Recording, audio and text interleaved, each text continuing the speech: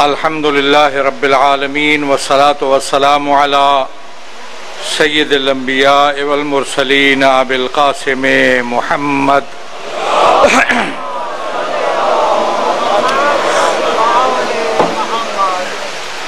وعلى الطيبين وصحبه وصحبه المنتجبين أما بعد فقد قال الله تبارك وتعالى ان تنصر الله ينصركم ويثبت اقدامكم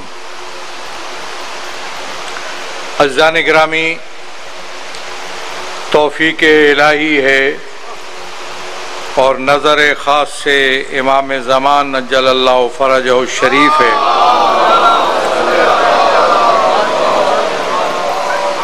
کہ مجھے اس مرکز علمی کے اس پروگرام میں حاضر ہونے کا موقع نصیب ہوا اور اس توسط سے آپ برادران ایمانی کا نزدیک سے دیدار ہوا۔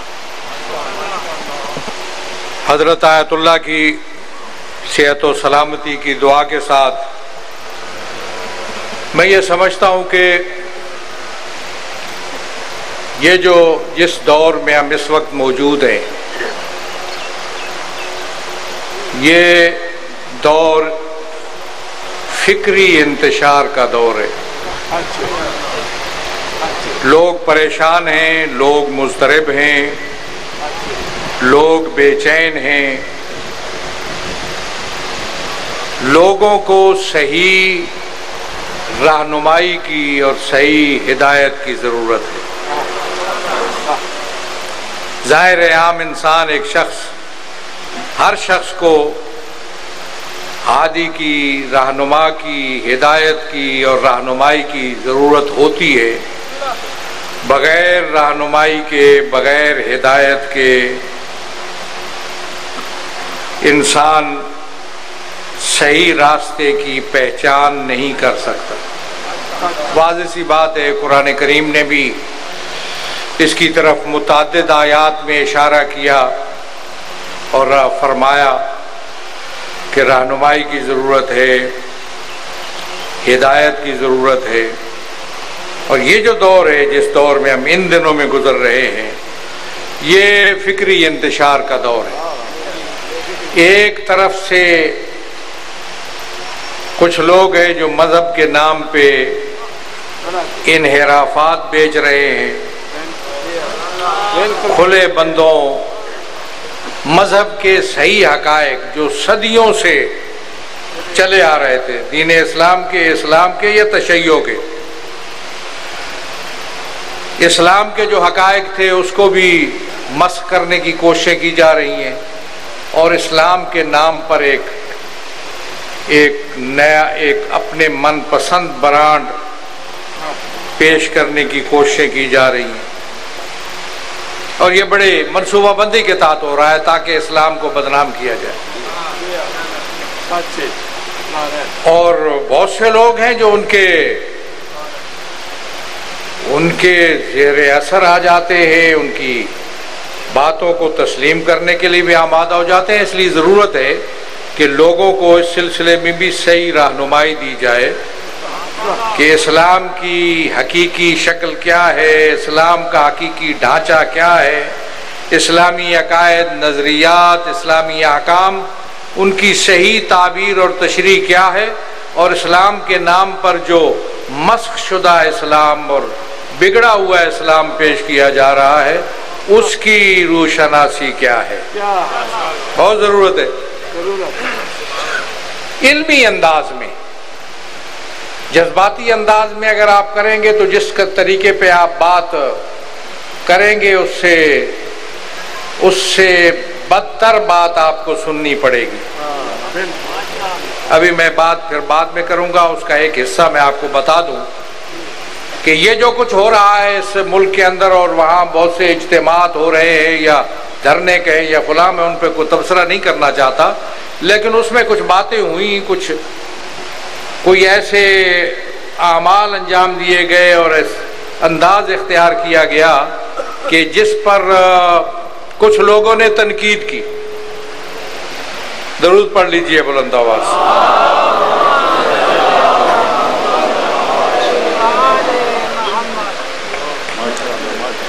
کچھ حضرات نے اس پر تنقید کی اور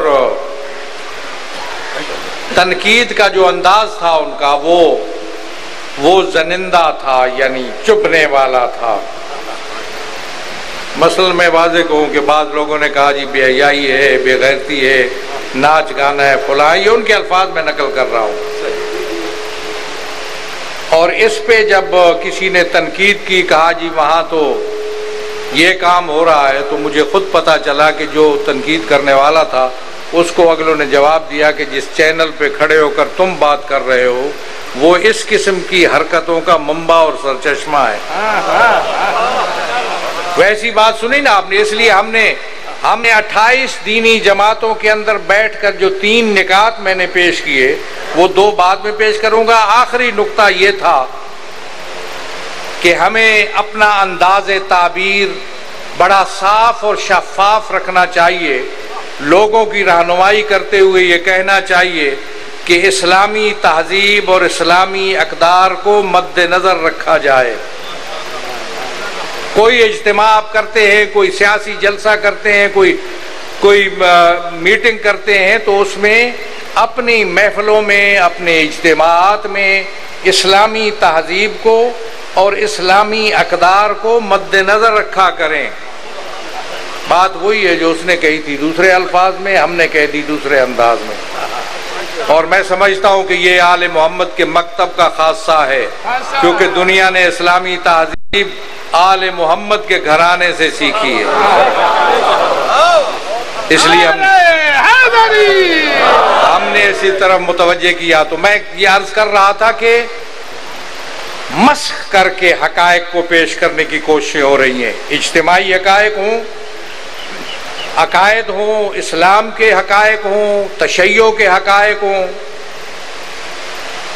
وہ حقائق بڑے واضح تھے، صدیوں سے اس پر کام ہوا۔ اور نسلن بعد نسل تواتر کے ساتھ وہ حقائق ہم تک پہنچے ہیں۔ کسی ایک شخص یا فرد کی بات نہیں ہے۔ جیسے قرآن کریم ہمارے پاس صدیوں سے نسلن بعد نسلن اسی حالت میں ہم تک پہنچا ہے۔ اور ہم کہتے ہیں کہ یہ قرآن وہی بھائی الہی ہے جو پیغمبر پر نازل ہوئی۔ ان کے حکم سے جمع ہوا اور ہم تک پہنچا، یہ وہی قرآن ہے جو پیغمبر کے پاس تھا۔ وہی قرآن ہے جو آل محمد کے پاس رہا اور تمام مسلم معاشروں میں رہا۔ اسی طرح اسلام کے جو بنیادی ارتکازی حقائق ہیں تشیعوں کے جو بنیادی اور ارتکازی حقائق ہیں، وہ صدیوں سے تواتر کے ساتھ نسلن بعد نسلن ہم تک چل کر پہنچ رہے ہیں۔ آج اگر کوئی شخص مرتکب ہوتا ہے انحراف کا کوئی مرتکب ہوتا ہے غلوب کا کوئی مرتکب ہوتا ہے کمی و زیادتی کا یا تفویض کا یا نصیریت کا یا اور کسی قسم کے انحرافات کو تشیعوں کے نام پر بیچتا ہے۔ تو ہماری ذمہ داری بنتی ہے کہ ہم اس کی، ہم رہنمائی کریں، اس کی نفی کریں، لوگوں کو تشیعوں کے اصل چہرے سے روشناس کرانے کی کوشش کریں۔ یہ بہت بڑا کام ہے، بہت سی باتیں ہیں اور بھی کرنے کی۔ یہ فکری انتشار اسی وجہ سے ہے کہ ملت تشیعوں کے اندر تشیعوں کے نام پہ بہت سی چیزیں جو جس سے تشیعوں کا چہرہ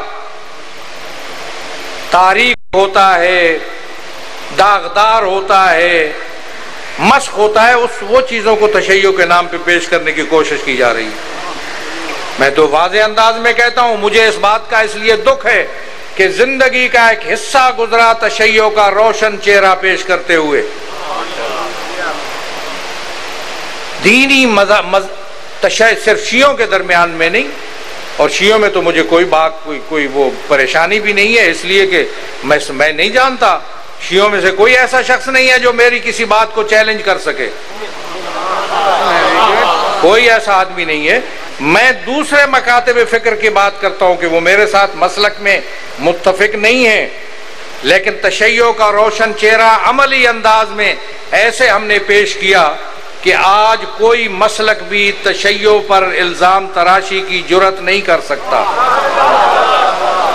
ہو رہا ہے ملک کے اندر بہت سی مسجدیں ہیں بہت سے لوگ ہیں جو اس سلسلے میں تشیعوں کے خلاف تشیعوں کے خلاف عرضہ سرائی کرتے ہیں، لیکن کوئی ذمہ دار آدمی تشیع کے خلاف الزام تراشی کرنے کی اس کو جرت نہیں ہو سکتی۔ اس لیے کہ ہم نے عملی عملی انداز میں، ہم نے منطقی انداز میں، علمی انداز میں اس طریقے پہ پیش کیا۔ اور آپ نے دیکھا کہ اب جو ملک کے اندر ایک ایسی صورت حال تھی کہ جس میں ایک لڑائی جھگڑے کی کیفیت، ایک انتشار، ایک ایک انارکی کی کیفیت اس ملک کے اندر پیدا ہو چکی ہے۔ کچھ لوگ ہیں جو اپنے آداف کے تحت دھرنے دے رہے ہیں جل سے جلوس کر رہے ہیں۔ اور حکومت ہے کہ اس کی اپنی ایک کیفیت ہے۔ اس صورت حال میں ہم نے دینی جماعتوں کو جمع کر کے پیغام دیا۔ میں میں نے وہاں کہا، میں نے کہا کہ ملی یکجہتی، کونسل کا مقصد ہے یکجہتی پیدا کرنا۔ قوم کے اندر اختلافات ہیں، جس نوعیت کے اختلافات بھی ہوں۔ ہماری ذمہ داری بنتی ہے کہ ہم اختلافات کو دور کرنے کے لیے، یکجہتی پیدا کرنے کے لیے آگے بڑھیں۔ آئیے دینی جماعتوں سے مل کر ہم پیغام دیں کہ ہم یکجہتی کے لیے سالس بننے کے لیے تیار ہیں۔ اس لیے سمجھ لیجیے کہ ہماری پالیسی یہ ہے۔ یہاں سے سمجھ لیجیے، تشیعوں کی پالیسی یہ ہے کہ ہم غیر جانبدار ہیں ان معاملات میں۔ ہم غیر جانبدار ہیں ان معاملات میں۔ ہم کسی کے حق میں ہیں نہ کسی کے مخالفت میں ہیں۔ نہ کسی کی حمایت میں ہیں نہ کسی کی مخالفت میں ہیں۔ بلکہ جو اختلاف پیدا ہوا ہے اس اختلاف میں ہم سالس بننے کے لیے تیار ہیں۔ اور یہ بہت بڑا مقام ہے۔ کہاں کہاں ہیں وہ لوگ جو تشیعوں کے خلاف حرضہ سرائی کرتے تھے یا گالیاں دینے والے تھے؟ آج ہم نے تشیع وہاں تک پہنچی ہے کہ تشیع لیڈ کر رہی ہے، رہنمائی کر رہی ہے اور دینی جماعتیں اس کے ساتھ مل کر سالسی کا پیغام اور یکجہتی کا پیغام دے رہی ہیں۔ درود پڑھ لیجیے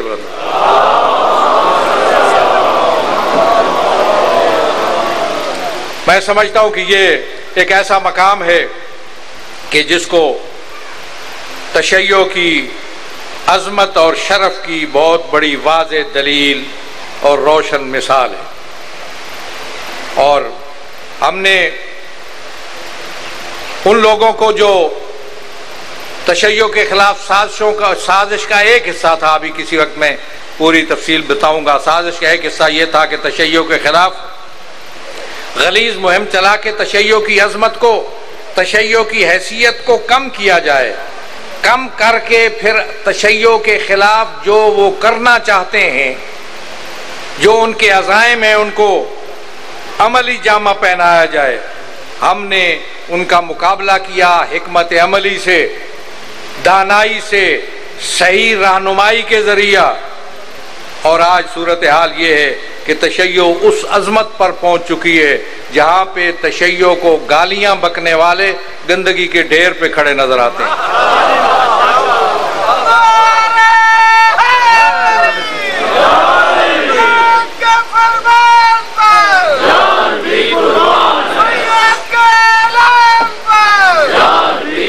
بہت بڑا سرمایہ صرف ہوا تشیع کے خلاف۔ اور میں مختصراً عرض کروں، بہت سی تفصیلات تھی، میں چھوڑتا ہوں۔ یہ جو دہشت گردی تھی، قتل عام تھا، یہ بھی تشیع کے خلاف ایک سازش تھی۔ تشیع کی آزادیوں کو تشیع کی شہری آزادیوں کو تشیع کے سرگرمیوں کو آگے بڑھنے کو، پیش رفت کو روکنے کے لیے ایک بہت بڑی سازش تھی، تاکہ تشیع پیچھے ہٹے، اپنی آزادیوں سے پیچھے ہٹے۔ اور آپ کے علم میں ایک ان بڑے سے بڑے واقعات کے بعد میں برملا یہ کہتا رہا کہ مجھے اس ملک کے اندر کسی جلوس اور مجلس کے لیے پرمٹ کی ضرورت نہیں ہے۔ جتنے بھی بڑے بڑے سانحات ہوئے میں سمجھتا تھا کس لیے ہو رہے ہیں تاکہ ہم پیچھے ہٹ جائیں، ڈر جائیں، اپنے حقوق کو چھوڑ دیں۔ تشیع کی آزادیاں، تشیع کے حقوق سے ایک انچ بھی ہم پیچھے ہٹنے کے لیے تیار نہیں ہیں۔ بہت بڑی قربانیاں ہوئیں۔ میں منتظر ہوں۔ مذاکرات ہو، میں حیران ہوں آپ لوگوں پر۔ آپ پر حیران ہوں کہ جو اصل قاتل ہے آپ کے شیوں کے، ان کے بارے میں آپ بات کرنا، مطالبہ کرنا بھول کیوں گئے؟ بات چلتی ہے فلاں کے خلاف، فلاں کو، فلاں کے خلاف آپریشن کرو۔ آپ میں سے کچھ شیعہ نادان اٹھ کھڑے ہوتے ہیں آپریشن کرو۔ ہم اتنے آدمی دیں گے، پتہ نہیں کیا کیا کہا۔ بھائی ان کے خلاف آپریشن ہو یا نہ ہو؟ تمہارے اپنے قاتلوں کے خلاف مطالبہ کیوں نہیں کرتے ہو کہ آپریشن کرو؟ مذاکرات میں تمہارے قاتلوں کا نام نہیں آیا۔ اور پھر آپریشن کے اندر بھی جن گروہوں کے خلاف آپریشن ہو رہا ہے، اس میں اس میں بھی تمہارے قاتلوں کا نام نہیں ہے۔ میں نے مطالبہ کیا ہے کہ جتنے بھی لشکر ہیں فلاں لشکر جنگوی فلاں فلاں جو شیعوں کے براہ راست قاتل ہیں ان کا نام کیوں نہیں آیا مذاکرات میں؟ ان کا نام کیوں نہیں آیا آپریشن کے اندر؟ کیا کہنا چاہتے ہیں آپ؟ آپریشن کریں گے اس کے ان کے خلاف یا نہیں؟ مجھے حوصلہ ملا چیف آرمی سٹاف کے شاید اسی طرف متوجہ ہوئے، انہوں نے کہا کہ ملک، پورے ملک میں ہر جگہ جہاں بھی دہشت گرد ہوں گے ان کو چھوڑیں گے نہیں، ان کے خلاف آپریشن کریں گے۔ میں سمجھتا ہوں کہ یہ بیان ان کا حوصلہ افزا ہے اور میں منتظر ہوں کہ اس ملک کے اندر ان لوگ ان قاتلوں کے خلاف جنہوں نے مجھے بسوں سے اتار کر شناخت کر کے مارا۔ میں یہ جملے کہتے ہوئے میرا میرا دل دہل جاتا ہے۔ میں مجھے مجھے بہت دکھ ہوتا ہے اس بات پر میں اس ملک کا شہری ہوں، باعزت شہری ہوں، وارث ہوں، مالک ہوں۔ مجھے بس سے اتار کر، مجھے شناخت کر کے اگر ماریں گے تو میری ذمہ داری بنتی ہے کہ میں اسلام آباد پر کس، کے سٹیج پر کھڑے ہو کر پوری دنیا کے اپنی شناخت کرواؤں۔ اپنی شناخت پوری دنیا کے سامنے پیش کروں۔ اور میں سمجھتا ہوں کہ وہ موقع آئے گا جب ہم یہ شناخت پیش کریں گے۔ وہ مراحل آنے والے۔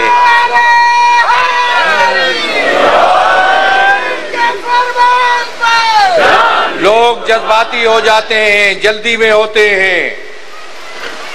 ملکی اور بین الاقوامی حالات کو ان کی تہ کو دیکھتے ہوئے اور مد نظر رکھتے ہوئے اقدامات کیے جاتے ہیں۔ اس لیے میں سمجھتا ہوں، اور یہ محرم بڑے بڑی مشکل حالات میں آ رہا ہے، میں آپ کو متوجہ کر رہا ہوں۔ حالات مختلف ہیں، افراتفری ہے، حکومت کمزور ہے، انتظامیہ ڈری ہوئی ہے۔ اس لیے آپ کی ذمہ داری بنتی ہے کہ اپنے محرم الحرام کے کی رسموں کو ازاداری کو اچھے اور بہتر انداز میں منانے کے لیے آپ کمر، ہمت باندھیں۔ سب کی ذمہ داری بنتی ہے اچھے انداز میں۔ اور اس کا اچھے انداز کا ایک پہلو یہ ہے کہ اپنے تمام برادران کو، تمام مکاتب فکر کو جو اس ملک کے اندر ہیں، ان کو اپنے ساتھ ملائیں۔ اپنے اپنے طریقے پر وہ آپ کے ساتھ شامل ہو سکتے ہیں۔ اپنے طریقے پر رہتے ہوئے۔ کوئی ایسی بات جس سے نفرتیں پیدا ہوں، جس سے دوریاں پیدا ہوں، اس سے گریز کرے محبت و قوت و برادری کو فروغ دیں۔ کوئی ایسا کلمہ، کوئی ایسا جملہ، کوئی ایسا اشارہ جس سے دوسرے مکتب فکر کے مقدسات کی توہین ہوتی ہو جائز نہیں ہے۔ گریز کریں اس بات سے۔ اپنے مکتب کو بہتر انداز میں، اچھے انداز میں پیش کرنے کی کوشش کرے ازاداری سید الشہداء کو پرشکو انداز میں منانے کی کوشش کرے کیونکہ یہ سال ایسا ہے کہ ایک بہت ہی ہر طرف کمزوری کمزوری دکھائی دیتی ہے۔ لہذا اپنی اپنی وحدت کی قوت سے، اپنے اتحاد کی قوت سے، اپنی یکجہتی کے ذریعہ اختلافات کو کم کر کے، محبتوں کو بڑھا کر، یکجہتی کو فروغ دے کر محرم الرام کو منانے کی کوشش کریں۔ میں سمجھتا ہوں کہ تشیعوں کے خلاف ہونے والی جیسے پہلے سازشیں اور سازشیں تھی ناکام ہوئی پارلیمنٹ کے اندر ایوانوں میں اور میدانوں میں ہم نے ان کو ناکام کیا۔ جیسا کہ آپ نے دیکھا کہ گزشتہ جو جو آشور کے دن جو سلسلہ ہوا تھا، اس سے فائدہ اٹھانے کی کوشش کی گئی۔ اور کس انداز میں ایک طوفان اٹھایا گیا کہ ازاداری کے جلوس نہیں ہونے چاہیے۔ ہم نے سوئی کا ایک سرا اس غبارے کے اندر ڈال کے اس کی ساری ہوا نکال دی۔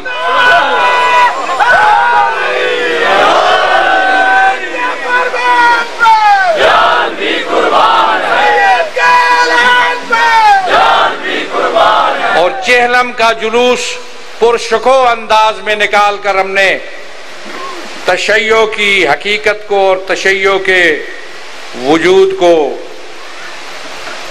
ثابت کر دکھایا۔ یہ یہ کسی جلوس کا مسئلہ نہیں تھا، بلکہ تشیع کے وجود کا اور تشیع کے حقوق کا مسئلہ تھا۔ اور تشیع کے حقوق میں میں جدا نہیں سمجھتا ملت مسلمہ کے حقوق سے۔ تشیع اگر مضبوط ہوگی تو امت مسلمہ اور اسلام مضبوط ہوگا۔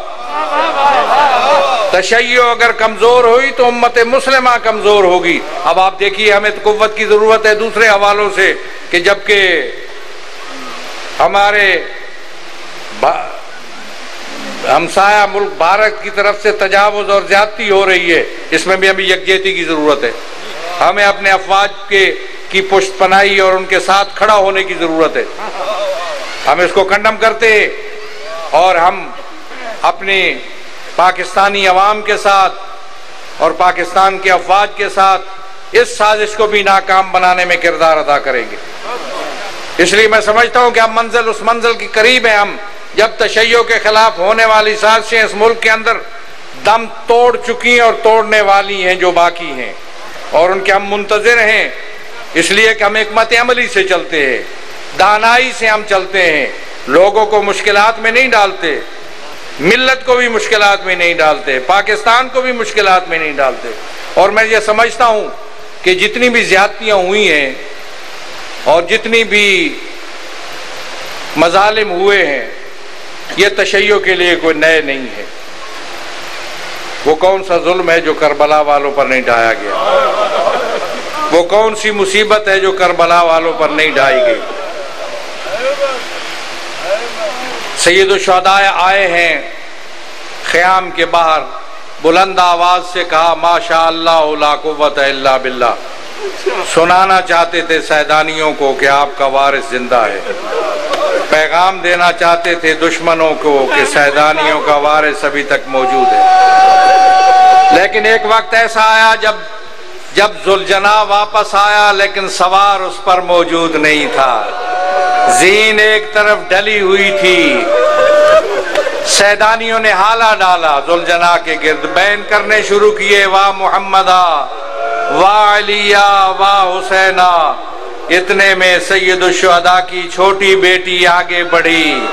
بڑھ کے بابے کے گھوڑے سے سوال کیا، یا جوادہ بھی میرے بابے کے گھوڑے یہ بتاؤ کہ میرا بابا جب میدان میں گیا تھا تو تین دن کا بھوکا اور پیاسا تھا۔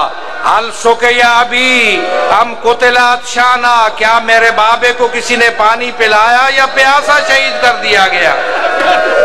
گزر رہے تھے امام زیر العابدین، بازار سے ذبح کر رہا تھا شخص جانور کو، کہا اس کو رک جاؤ، کیا اس کو پانی پلایا یا نہیں؟ کہا، یا حضرت، ہم مسلمان ہیں۔ حیوان کو پانی پلائے بغیر ذبح نہیں کرتے۔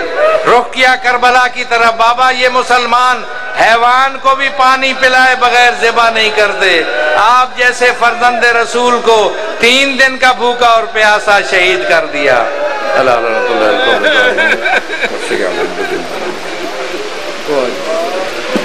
بار پہ اپنے رحمت اور برکت نازل فرما۔ شر شیطان، شر دشمنان سے اپنے حفظ و امان میں رکھ۔ سب کی پریشانیاں دور فرما۔ مشکلات رفع فرما۔ سکون و اطمینان نصیب فرما۔ اس مرکز علمی کو زیادہ سے زیادہ بار الہ مضبوط و توانا بنا۔ ترقی عنایت فرما۔ حضرت آیت اللہ کو صحت کامل و عاجل عنایت فرما۔ حاضرین کے دلوں میں جو حاجات ہے تو علم بذات صدور ہے، پوری فرما۔ ہم سب کی توفیقات خیر میں اضافہ فرما ایک بچہ بیمار ہے بار اللہ اس کو صحت عنایت فرما۔ تمام مریضوں کو صحت کامل و عاجل فرما چلیے سرکار